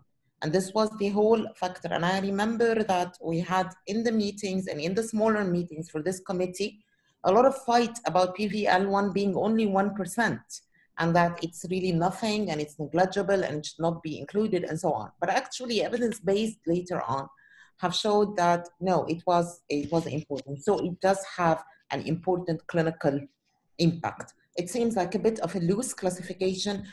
Um, um, I, I know it's not such a user-friendly for class two, but it outlines the two most important factors, how much viral replication you have in the biopsy and versus how much fibrosis you have. So yes, of course, it reflects the clinical impact. And it So may, guide, may guide us not to over suppress the patients uh, because it, it improved the, uh, uh, the diagnostic uh, capacity because as you know, the problems in serology and in the urine. So if we increase the sensitivity of the tissues by considering the very minimal uh, CV, uh, SV40 positive um, uh, infiltration, this will guide us if the patient has a stable graft not to over suppress this patient. I think it's very nice. Okay, for the second question, uh, the differences between uh, the PCR and the SV40 staining. Uh, okay, I can't comment on immunohistochemical techniques of other centers, of course, but we will assume that this is a, a solid validated uh, test. If you have a negative PCR, and uh, I'm not sure about the sensitivity of the PCRs, but they're usually quite sensitive. I mean, we never face problems basically of a PCR which is not sensitive, especially in viruses. But if you have positive nuclei in the tissue and a negative PCR, then there are two things to do. First one is that you really need the urine cytology with decoy cells. If this patient has viral replication and there is a problem with the PCR, it will show in his urine. And then this one is, is the least test with the least fallacies. The second thing is that you would, you can consider that this is JC, it's not BK, and then your patient rising creatinine is for another reason. And we had a case like this. I had a case like this. The patient had, but the nuclei were in the in the medulla within the corticomedullary junction, and it was positive, but it was only a PVL1 actually, and patient's PCR was completely negative, and the patient had an ABMR, RC4D was positive. So um, when the PCR was negative, we had concluded that this patient actually, and her, and her urine cytology showed very few decoy cells. So this was not a sign of an active uh, PVN going on. So we actually concluded that this JC. So this is one scenario. I have The a question to you, Professor Sam here. Uh, how, how much or how frequent you find BK nephropathy in the tissues? Is it frequent? Because uh, I feel that uh, uh, nephropathy is different from country to country. This is why we should do our best to have our registry for polyomavirus affection in Egyptian patients because we use tacrolimus and mycophenolate mofetil, and it is seldom to diagnose polyomavirus nephropathy in our cases. We- Okay. Yes. What is your, your experience? Do you find a lot of cases? No, we don't. But Yes. in order for you and I to come with such a sentence, we hmm. need to do SV40 routinely. Oh. We now we do SV40 upon suspicion. Okay. So if I suspect a nucleus, then maybe another pathologist is not going to suspect it. It's our own. Um, But uh, on it's- suspicion, on suspicion, how frequent you diagnose it's not frequent. Not It's not. frequent. And uh, moreover, uh, uh, we have an experience here. We requested uh, the PCR for 100 cases, PCR for quantitative for both polyomavirus and the JC virus, and the uh, the the uh, percentage of the cases polyoma or uh, JC in the blood zero out of 100 cases. So it seems that it is different from country to country. Um, We've done a study and it's published in Transplant Infectious Diseases um, um, uh, three or four years back. And it was also on 111 uh, patients with the PCR. And we had out of the 111, around 13 patients with a positive PVN in, um, in the biopsy and around 20 with presumptive uh, PN. They had only high PCR, but no evidence of uh, PVN in the biopsy. However, again, uh, Yes, I can agree with you, and not because we have different genes or it's environmental. I think it's because we have a different culture and socioeconomic Yes. base. Okay. So yes, we tend to have more non-compliance and more rejection rather than, and this is this is and this is a virus which uh, virus which results from high, uh, very compliant, uh, intensive immunosuppression. But we also get give a lot of anti-rejection treatment of induction. We can have um, a high rate of a malignancy, and we need to consider that we do have a percentage of cases which are probably missed or not uh, biopsied. I'm I- expecting if we apply SV40 routine, uh, we will test- take a bit Yes. more, but not up to what is Yeah. published. I agree. and but if we we, can, if we we look can at the surprised. yes, if we look at the cortex and the medulla, just one percent or less than one percent, I think it will reduce the false negative results that we uh, were confronted with. Okay, that's the answer of the second uh, of the second uh, uh, point, yeah. part of the second question for Dr. Muhammad is Rejection is if you have a PCR positive and a negative biopsy, then you need to consider that uh, a- a- either some there's something wrong with the technique, with the IHC technique, and it needs to be repeated, or uh, that you don't have a PVN. A PC, Yes. positive PCR does not equal a polyomavirus nephropathy.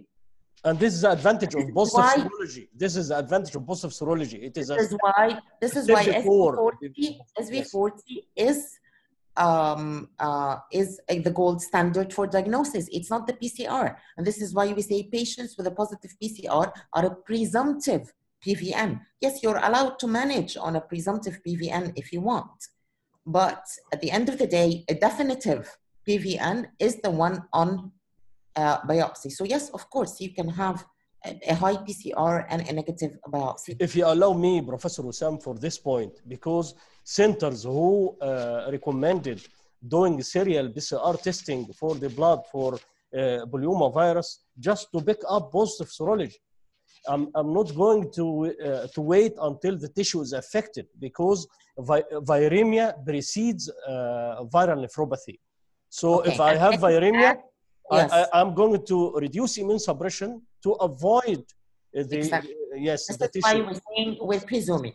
Okay. And for the cost effective and for people not to panic, um, it is either, um, uh, it's even in the guidelines that it's either you can do the PCR or you can screen by decoy uh, cells in urine. And again, the decoy, the increasing numbers of decoy cells will reflect that you have an increasing viral replication and increasing viremia, and you need to do something about your patient. Uh, the first, uh, the first question, Dr. Muhammad, about rejection, and Yes. is it enough to have tubulitis away from uh, the? It is enough for suspicion. Yes, And it's if, we, enough.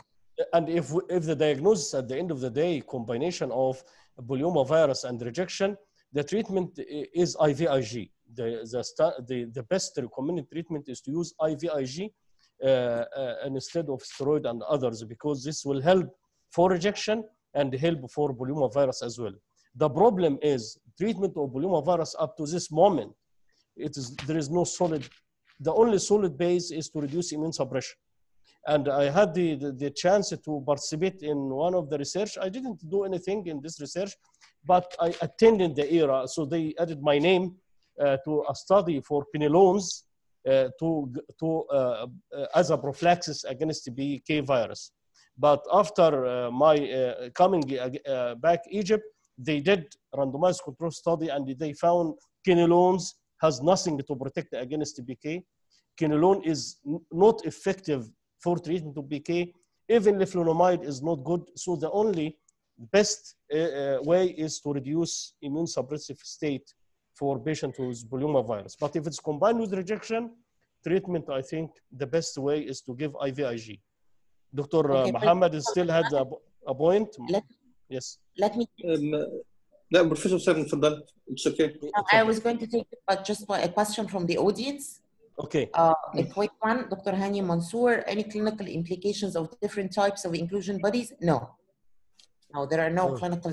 We are, this is just a morphological um, uh, diagnostic. And another question uh, in the chat. I, I think there is an, other questions. There is other question. Yes, please go ahead. Abo. Um, 2% in his MD thesis. No, the- uh, someone was saying that Okay. in the MD is nephropathy. Professor Wesam, uh, yeah, you just mentioned the uh, early uh, BK nephropathy early, maybe uh, the histological finding might be uh, absent uh, and also late.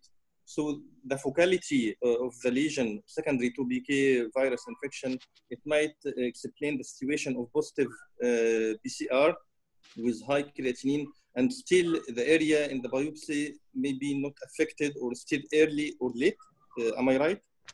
Uh, you're right theoretically, but uh, I like to be more uh, practical and down to earth. If I have a patient with a rising serum creatinine due to PVN, then I need to, re- to see a histology reflecting this disease. Dr. Nagwa? If, if you're doing it as a screening method, and th- this is a different story. If the patient has a mild renal impairment and it's it's uh, then yes, then we can consider that it could be in the medulla, that it could be only a single nucleus. But a patient with a rising clear, uh, serum creatinine, then I need really a florid to in order to link it to PVN. Then I need a florid uh, a process, and he could have a high PCR and have another thing going on within his kidney causing his rising creatinine. So we need to be more uh, open. Yes to great, thank, great thanks Dr. Wesam for all your efforts. Uh, I'd like to ask uh, two questions. First one, uh, polyomavirus is normally dormant in tubular and uh, the urocellular cells. Yes, yes. And Cell when reactivation occurs, polyomavirus nephropathy starts to occur and uh, uh, starts to occur. So how can I consider uh, polyomavirus in class one? Uh, polyomavirus nephropathy with just only positive uh, SV40 in immunohistochemistry and no viral inclusions and no tubular injury? because if, uh, SV40 is not going to detect the latent virus.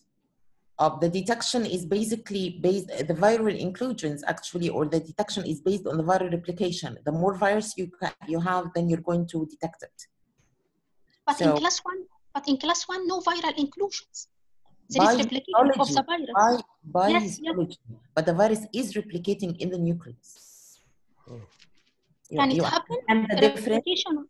So Yes, that yes. it, let's say, for example, that you will develop, for example, just an example to simplify things for you, that you're going to develop a, a nuclear inclusion when the virus is replicating around 20,000 virions, for example. But before that, you're not going to see a histological nuclear inclusion, but the virus is replicating.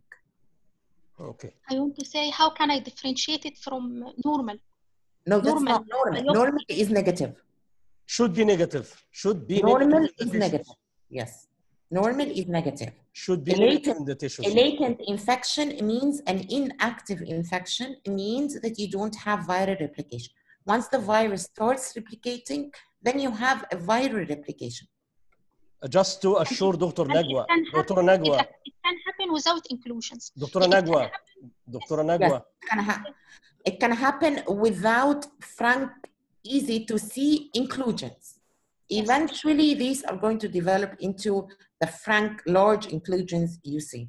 Dr. Nagwa do you hear me Dr. Nagwa Yes, yes, I hear you. the steps of infection it starts the virus is present in almost in more than 70% of population in, in, immune competent persons so the Yes. presence of vi- viruria and then viremia and lastly uh, nephropathy the presence of SV40 within the tissues this means that the viral is replicated is active uh, Yes. so so if whenever SV40 is positive in renal tissues this means that we, we are uh, in the replicative phase.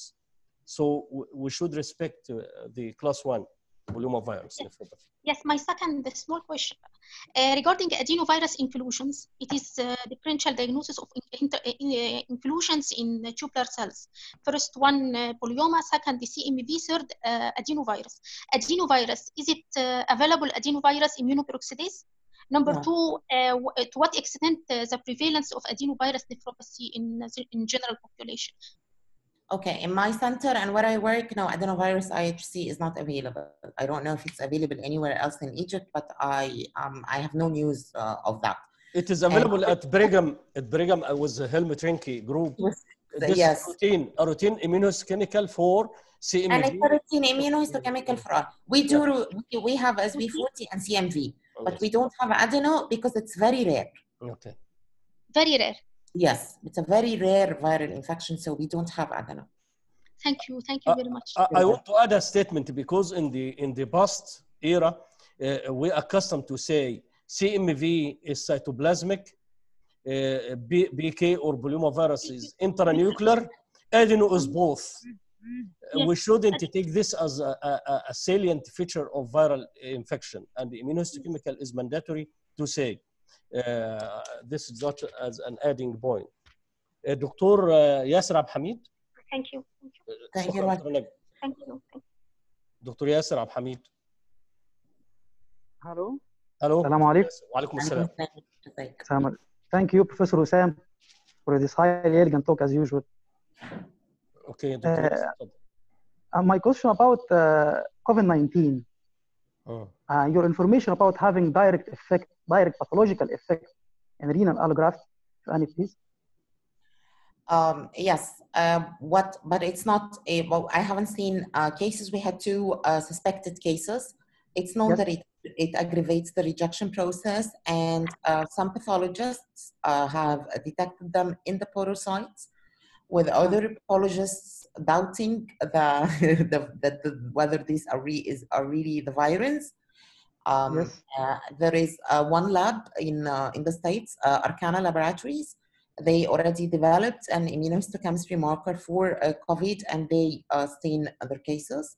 But um, we haven't seen anything uh, yet uh, in in a positive. Uh, what we know for with COVID for sure is that it aggravates the original disease. So, for example, in native uh, kidneys, if the patient is vasculitic, anti-GBM, um, ANCAS, or anything, patients present with aggressive uh, crescentic uh, forms. It presents with interstitial nephritis. Yes, it aggravates the original disease out of the immune response it uh, creates, most probably, uh, for some reason or another. And in, uh, in transplant patients, yes, some patients have presented, but with the regular rejection, nothing more. And in what, what's been reported in native biopsies as well has been an interstitial nephritis. And we just had a case of an acute tubular injury with hemolysis associated. This one was in uh, here, I've just seen it last week. And this patient was also uh, COVID. But other than that, this is all what we know. Apart, of course, from the post-mortem study with, with the reported thrombotic microangiopathy from China. But so far, this, but in transplant, nothing specific other than it would aggravate, it would precipitate rejection. This is what this is the, the, the reason of my question. It's effect of rejection. Can we uh, expect to have something like C- uh, CMV, for example, in the future to be discovered in the future of have of aggravated rejection, uh, something like this? We know, we know for a fact that any form of infection can trigger rejection. And this is why we know that it's common to see uh, rejection processes together with viral infections. It's commonly described with polyoma because this is the one which is pathology based.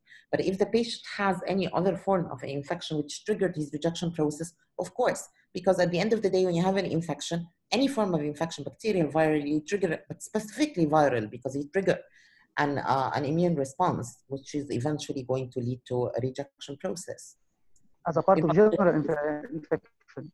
But for COVID, because it is a respiratory infectious disease with pneumonia, um, I'm not going to take care of the rejection at all. We, if we have COVID suspicious, we reduce anti-proliferative, and if there is pneumonia, we, we cut down all anti-proliferative, and But you know reduce. that we yes. have more, more, more evidence that it's more of a systemic viral disease actually. Are you- are you- And if the patient got to the uh, to the stage of a moderate disease with it with an early immune mounting an immune response, then this is what you're going to see. And we have reported cases of AKI, which is Yes. uh, really, yes. So this is What- also not related to the uh, pneumonia because they are interstitial nephritis. Oh. And some of them have hemolysis. So, and you have an element of micro um, angiopathy as well. And So- collapsing, also collapsing glomerulopathy. And collapsing glomerulopathy, of course. I was asking, So uh, yes, we still don't know a lot about Mm. uh, this viral infection. This is what have been reported within uh, the community so far. But in the grafted still, we are waiting further studies to assess the direct effect of the uh, COVID is, on the uh, graft. there is a hash, there is, yes, sir, there is a hashtag on Twitter uh, uh, by Tiffany uh, from uh, Arkana Laboratories, and they're collecting all possible mm. COVID cases, and they they are already reporting, and it's it's going on. So okay. that's great. Not, not all patients having severe pneumonia. Some having okay. a very mild disease, and we are to look for the graph. Thank you very much. Thank you, Professor. Thank you. Thank you. Professor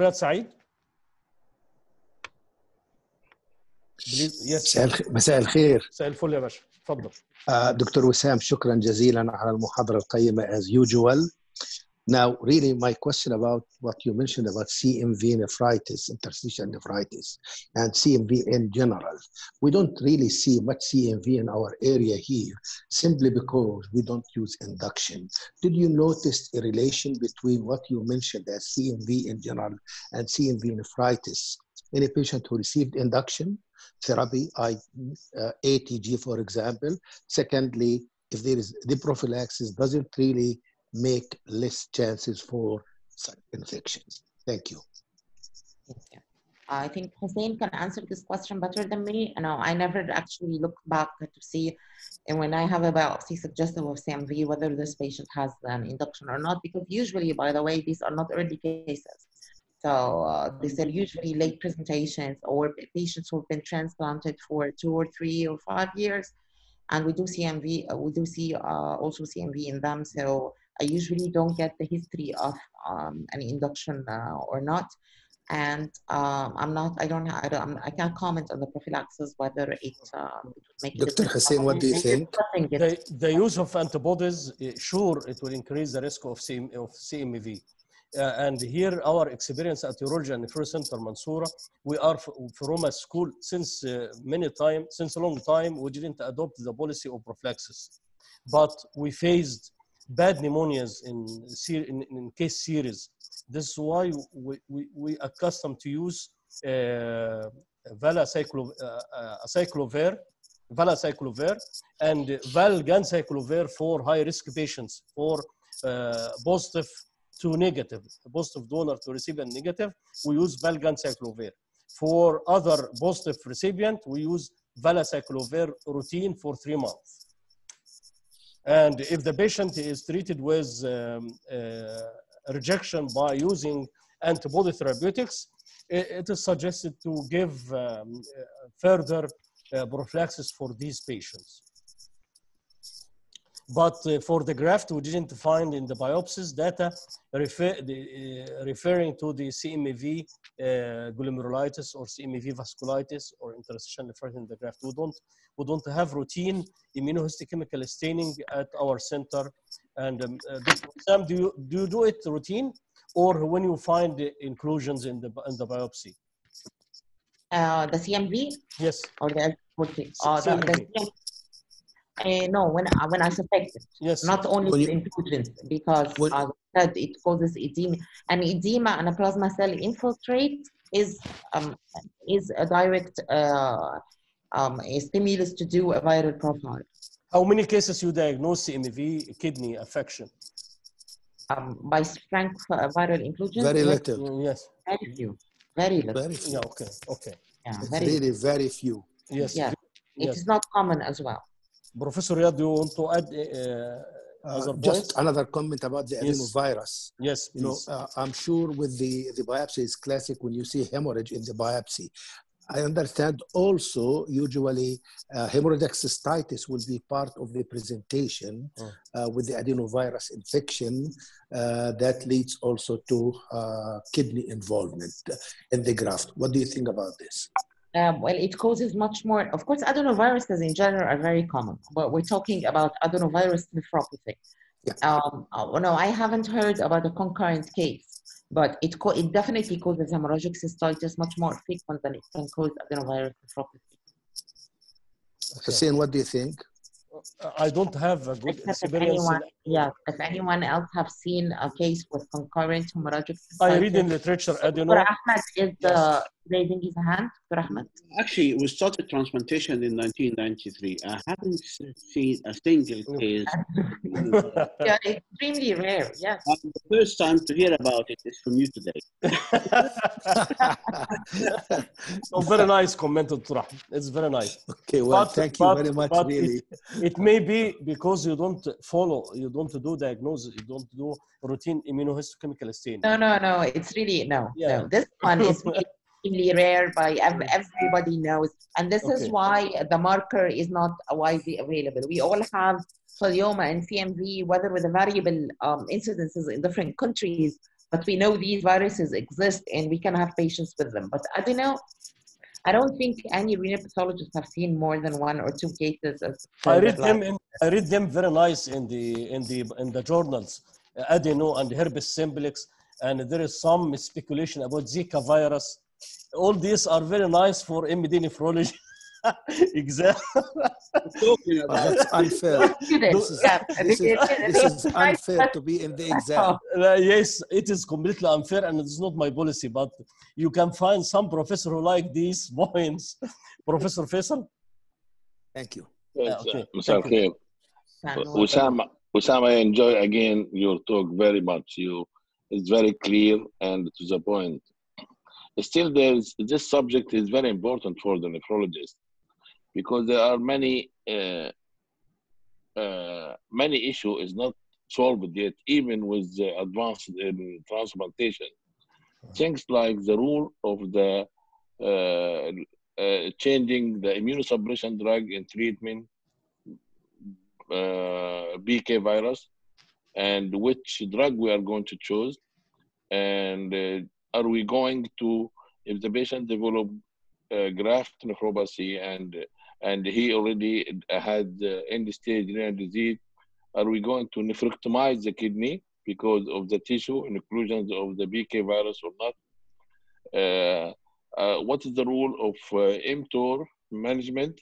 Should we remove it to uh, should we change it to uh, everolimus uh, because it will help also in overcome uh, the polyoma or uh, uh, what's the role of the leflunomide either it can help also to overcome the problem of uh, the immunosuppression if we change mTOR to leflunomide or change to everolimus.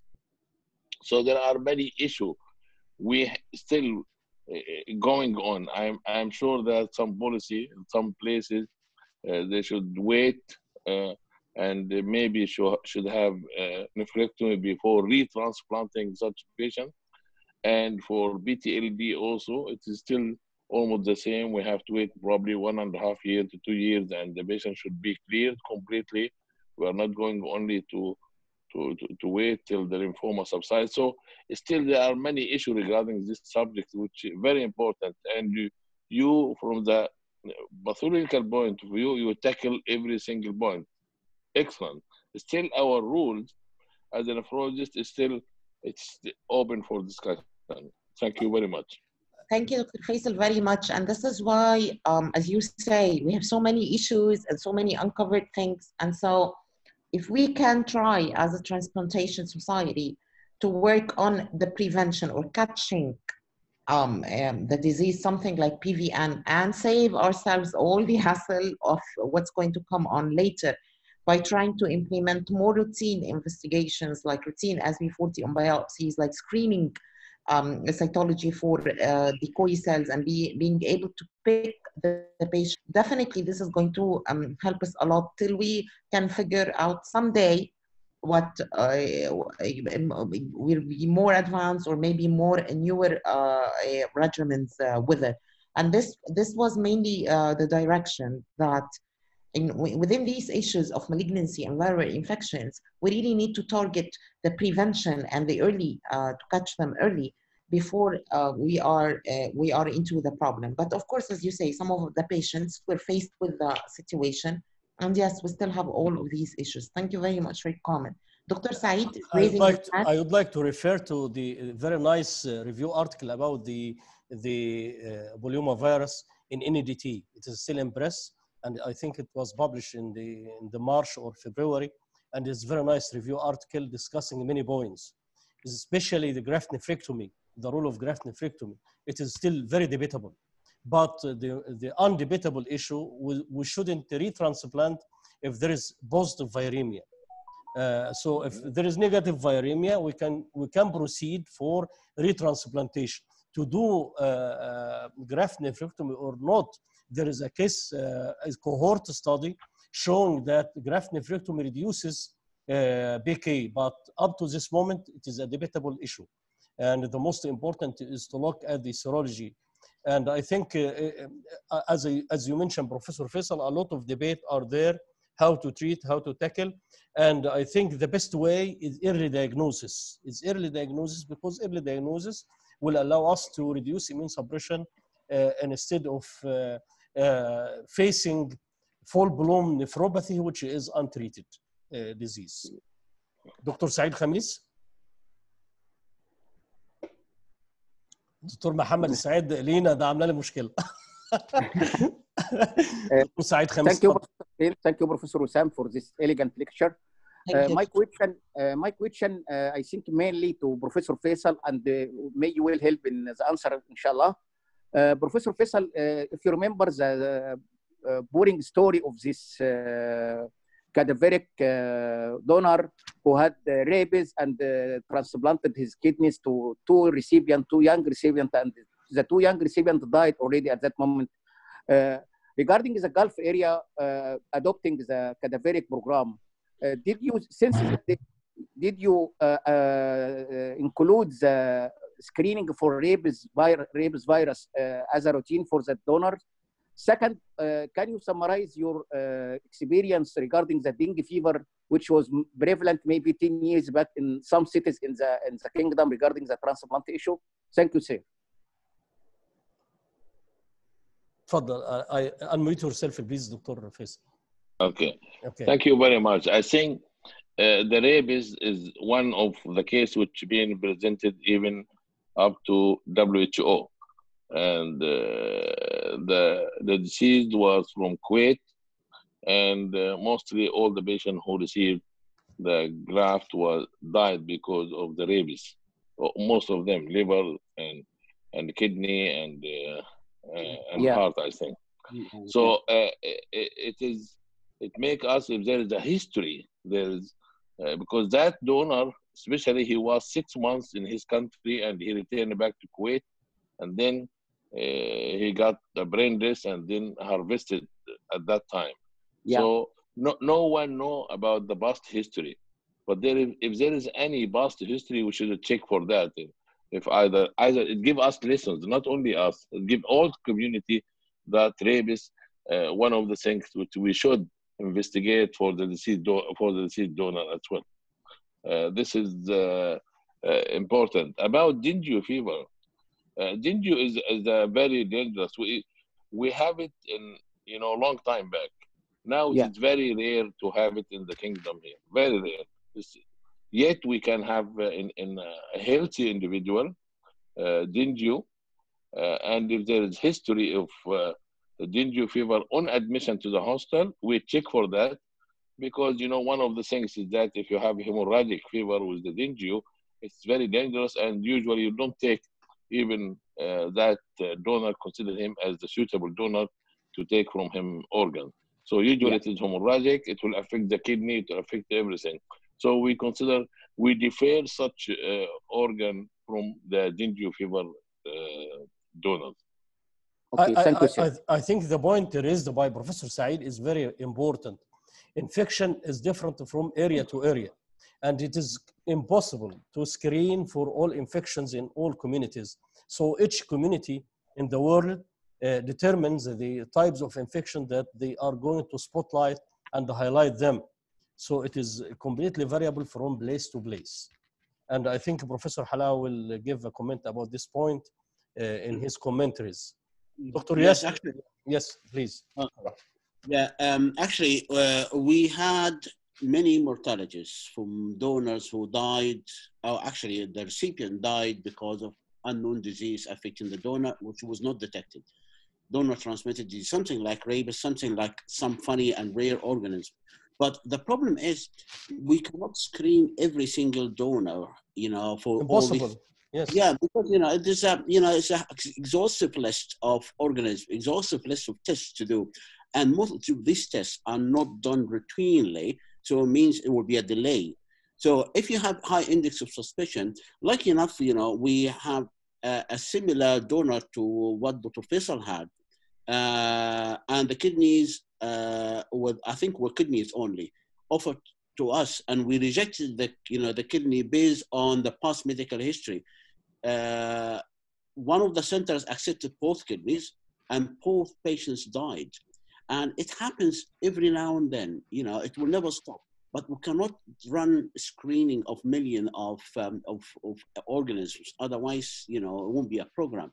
But this has an impact on our practice as well. Like Dr. Faisal said, we consent the, the, the, the recipient against any donor related infection and possible death this actually to protect us and uh, this is part as well of the informed consent but if you if you have any suspicion just do the test or for us simply reject the kidney Uh, Dr. Yasser? Dr. Yasser Muna? Many thanks for the great presentation and for the great discussion as usual. I would say that I'm very lucky as I saw two cases of adenovirus nephropathy in the last 10 years, one at the Hammersmith Hospital and one at Addenbrooke's Hospital. Both of them were presented as posters in the ATC. But I fully agree, like because I saw these two, I will never forget them. Uh, one of them presented as hemorrhagic cystitis, uh, as was already mentioned in the discussion, and the other one was fever of unknown focus or unknown etiology, and it, it was found on the biopsy. Uh, nothing much to add to what is already mentioned, but it might be whenever there is a discussion about such a thing, it might be worth sharing the different experience between different centers. So I would just say very briefly about experience from three different centers in less than two minutes. So I worked in Muscat Sultan Qaboos University Hospital, where they do screening by the decoy cell urine cytology. They don't do the PCR. They don't routinely do the SV40 stain on the biopsy. I worked at the Hammersmith Hospital, and they do protocol biopsy, and it's routine for them to do the SV40 staining on all the biopsy. They don't do the BK virus PCR in the blood at all. And their justification for that is that they do the protocol biopsy with SV40 and they do it so frequent and they follow what's called TAC monotherapy after CAMPATH induction. So they say, even if we detect the BK virus viremia, what are we going to do as the patient is already on TAC monotherapy with a target level of five to eight, which is relatively low in the immediate post-transplant period, which is a justified and a valid point. Whereas here, for example, at the Addenbrooke's Hospital in Cambridge, they don't do protocol biopsy and they do use the triple immune suppression following the basiliximab induction for most cases. And that's why they do like a screening on a regular intervals with the BK virus PCR in the blood. And last point to talk about is that I saw a couple of native native kidneys in hematological patient post BMT, post a heavy uh, chemotherapy for CLL, who lost their native kidney because of BK virus nephropathy, which was biopsy proven. And again, thank you so much for everyone. Thank you very much, Dr. Yasser, for this very nice comment. Uh, Dr. Mohammed Saeed, uh, he wants to add, uh, this is the last point. Uh, did not have Professor Halawa. Yes. Um, Um, بروفيسور وسام طبعا هي just only one point regarding um, uh, the renal allograft inflammatory profile. Uh, I think it is very similar between uh, BK nephropathy and uh, acute cellular rejection. Both of them, they might share a common pathway, especially some studies showed that the gene expression of patients that have concomitant uh, PVN plus rejection is similar so do you think that uh, there is a common pathway or something underlines both of them that make BK virus potentiate rejection? Uh, for that, it is only TCR uh, studied and mentioned with uh, BK, not other types of rejection? probably. Yeah, these studies, I know these studies and they, there was, uh, the question was uh, there and they, there was a high suggestion because of the similar, uh, the similarity in the phenotypes of the same uh, inflammatory uh, cells. But again, this is a viral response of the immune system, so you would expect to have cytotoxic T cells there and C3 as well. So it could be a valid point and there's still a lot that we don't know. Professor Halawa? No, very nice questions. Thank you. Professor Halawa. Uh, yeah, thank you very much. So basically, I would like to start with the BK virus, the relation of BK virus and cancer.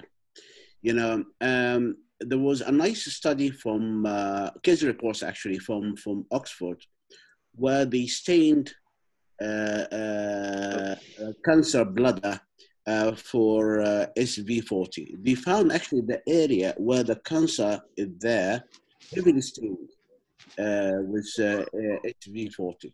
But the other non-cancerous area was negative. Was negative, yes. So it could be an association or could be a causation. So even we couldn't prove it. And also the same with cancer prostate as well. There is some accusation of BK virus and cancer prostate. But again, is it accusation or association? Still not known. Uh, regarding the decoy cells, we didn't do decoy cells because actually decoy cells, if you look at it, you need to uh, have freshly fresh urine sample and should be processed within two hours. So practically, for us, it's quite difficult. And also, as you alluded, uh, 27% sensitivity, 100% uh, uh, specificity. The decoy, actually, the word decoy is basically describing cancer cell. So many uh, could be cancer cells, could be other viral inclusion, not necessarily BK. This is why we decided not to do the cell. We rely mainly on urine PCR.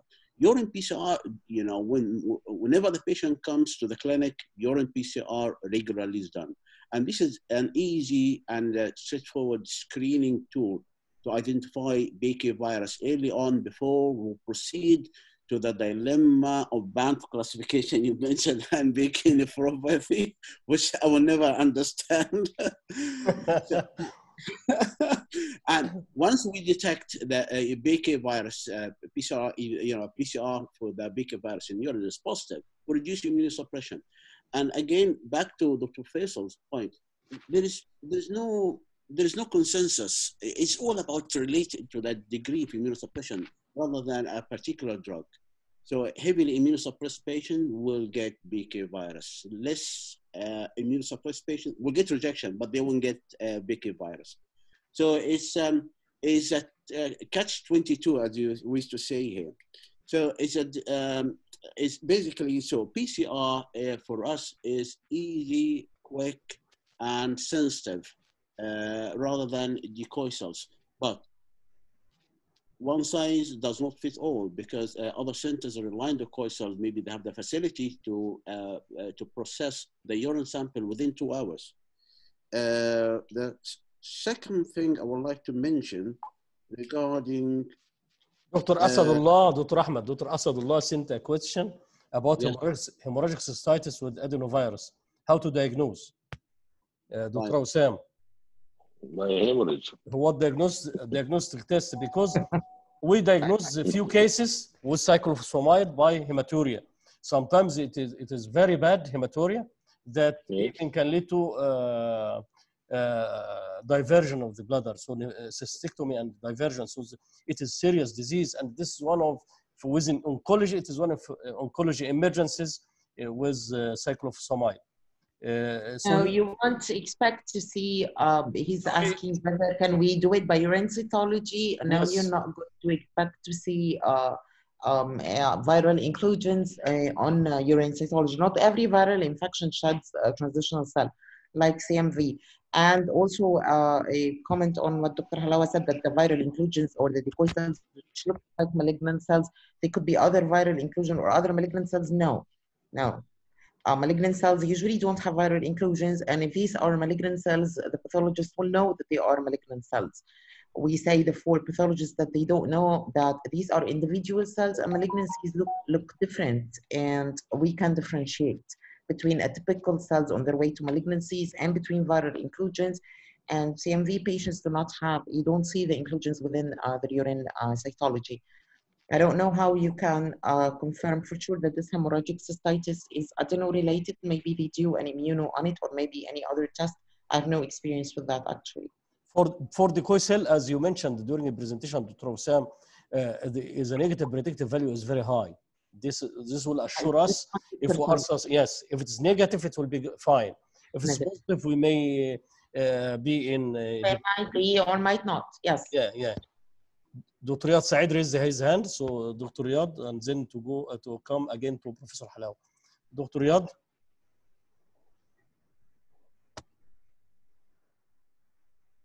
Unmute yourself, Dr. Riyad. Dr. Ahmed, uh, okay. Okay, Dr. Ahmed. Yeah, regarding the EPV uh, and PTLD, actually EPV negative, PTLD is associated with worse prognosis. Yes. So, uh, you know, we shouldn't be uh, delighted that, uh, you know, it's uh, EBV is negative and we got evidence of PTLD staying, confirmed by histological finding. So it's associated with definitely worse prognosis.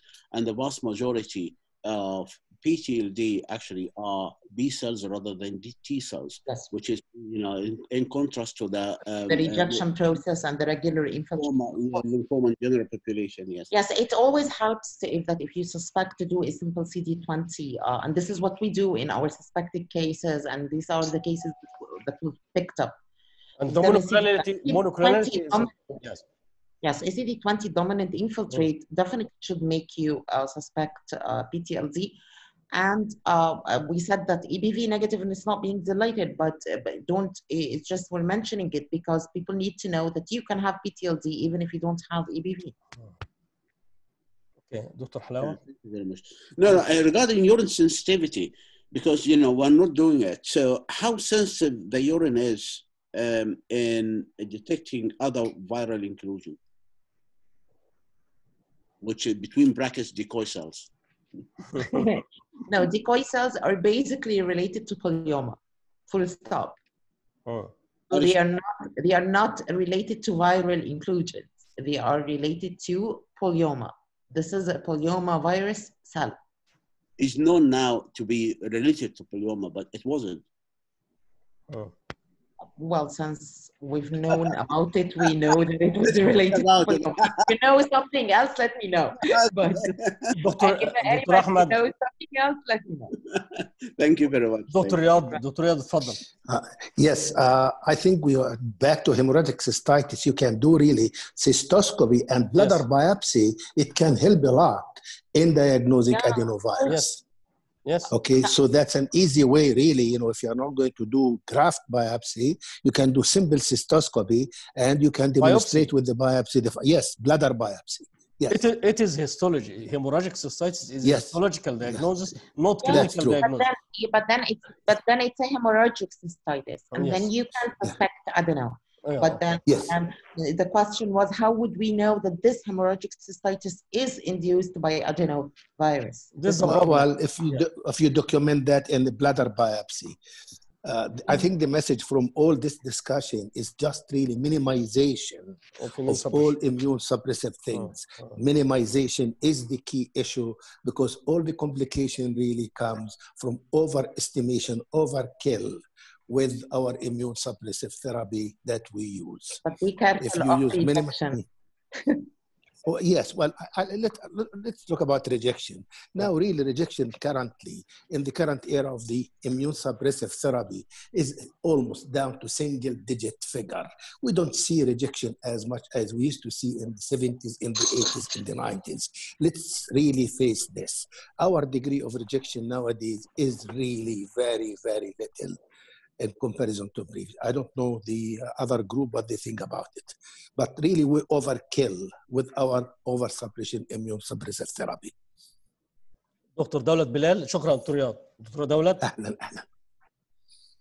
دكتوره دولت this is the last comment then uh, okay so uh, I- i'm going back to professor maya hasaballah uh, uh, because professor maya is the president elect of society and i would like here to conclude this uh, webinar and conclude the pathology uh, because uh, I mentioned in the beginning that we have quiz for assessment and attendee who will answer the quiz by 70% uh, score, they will be offered a certificate from the SNT signed by the president and by Dr. Wesam uh, for attending this activity for those who are interested in certificate acquisition. Professor uh, May. Uh, of course, uh, with them, I cannot thank you enough for uh, your extraordinary uh, persistence and coming up with this magnificent whole course of renal pathology. And I was just saying, maybe you didn't hear me, that this was very much needed by us nephrologists because uh, it's not um, so easy for us really. Uh, you made things very easy. And anybody who will see this course later on on the YouTube will really regain a lot. And you can always, and thank you, Professor Hussein, of course, for that. You can always go back to it and, and, and, and see it again. And, and, you know, so, so this is really, this was great. And we cannot thank you enough, but try to thank you. And, uh, we do need to see you uh, again. So this is not the end. We'll have to see you again, and you have to think of something to update us uh, every no- now and then. Okay. Sure. So thank you very much. this is the end of the of the month. This is the last session of pathology in the month. But in the second, in the coming month, we will meet again because, uh, as uh, Professor Halawa mentioned, Dr. Wesam is half nephrologist and half pathologist. So all of us uh, cannot work without her help. Yes. Thank you very much, Professor Wesam. Thank you all, uh, dear professors and colleagues, for uh, waiting with us and your patience. And I think the, this is a treasure. Nephropathology from A to Z, it is a real treasure left for nephrologists and for pathologists as well. Thank you very much and goodbye. And this presentation will be uploaded before 10 a.m. next uh, morning, inshallah. Thank you, uh, all Professor, Professor Riyad, Thank you. Faisal, all our guests from Arab world and from UK. Dr. Halawa, it was very nice opportunity to work with you in the transplant pathology with Liverpool candidates. It is a real advantage, and uh, you enriched the, these uh, four sessions by your um, experience and by your comments. Thank you very much. I learned a lot. Thank you very much. Thank you and goodbye. Assalamu alaikum. Thank you. Thank you. Thank you. Alaikum Ma'as assalam. salam. Ma'as salam.